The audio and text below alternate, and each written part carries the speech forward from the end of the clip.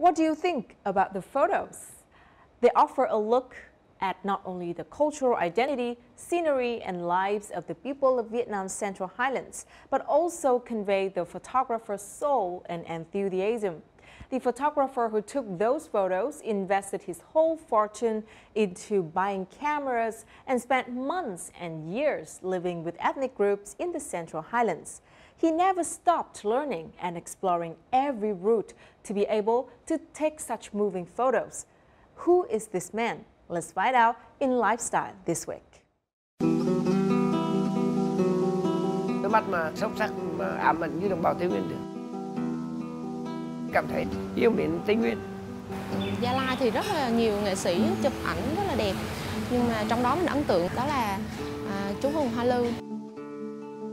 Hùng Hoa Lư thầy giáo tốt nghiệp đại học sư phạm văn à, nhưng do lòng đam mê với môn nghệ thuật nhiếp ảnh anh ờ, bỏ nghề nghiệp làm thầy để đi làm thợ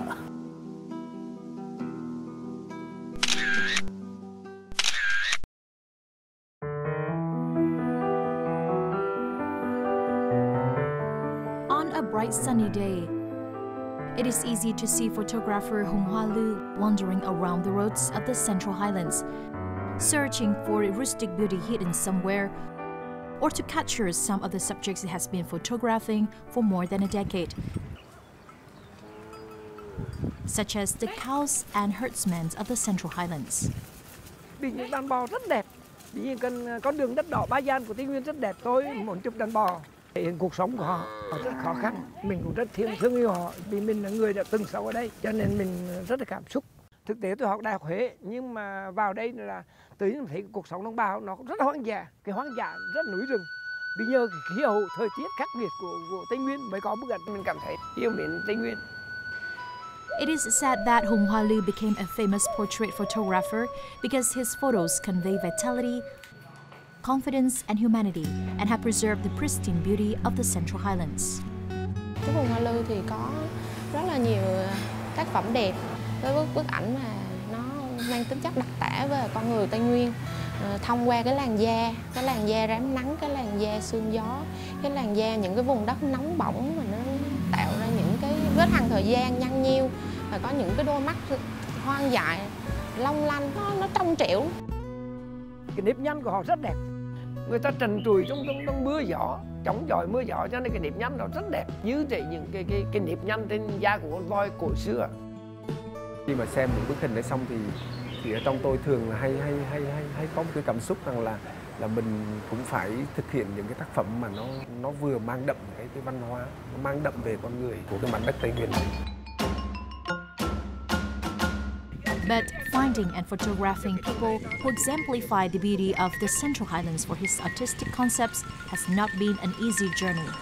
In order to find models with the ancient beauty of the Central Highlands like this, Hung Lu has spent more than six years traveling to many remote villages, trying to convince people to help him preserve images that depict the wild and untouched beauty of the Central Highlands, which has not faded with time.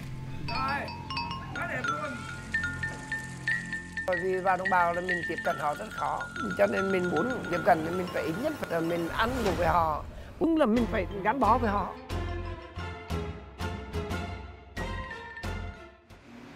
When he finds the right people for his photos, with his experience and creativity, Mr. Hung always comes up with creative ideas so that he can tell different stories through his photos. Những bức ảnh mà tấm đắc á, là thực tế là cái bức ảnh mà tôi thích nhất là bức à, hiện tại và tương lai. Cái bức cái hình ảnh mà tường nhà mồ của đồng bào rất đẹp tình cờ tôi chụp một một cái tường nhà mồ trong quán cà phê. Tôi nghĩ cái hình ảnh này là hiện tại và tương lai nghĩa là không còn nữa. Cho nên tôi đưa cho nó một cặp phạm trù cặp phạm trù cùng với em bé. This pair of metaphors depicts the past with grave statues and the present with two babies.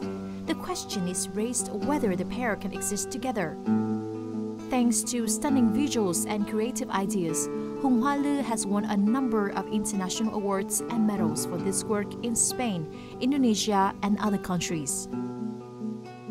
But Hung Hua Lu's biggest reward and one that's always on his mind is his passion for taking photos of the Central Highlands.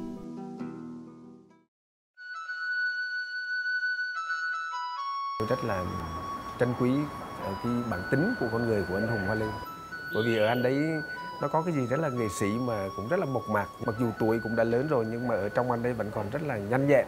Ẩn chứa một cái sự sôi nổi nhiệt huyết. Vì gốc của mình ở Quảng Trị, mình đã lập gia đình và sinh con đẻ cái ở đây rồi. Thì rõ ràng là mình sẽ gắn bó lâu dài. Chắc chắn là sau này có chết đi chắc mình phải nằm lại trên mình đất Tây Nguyên rồi nếu còn sống ngày nào thì mình cũng có thể uh, bạc bãi đi rong ruổi trên cuộc đời.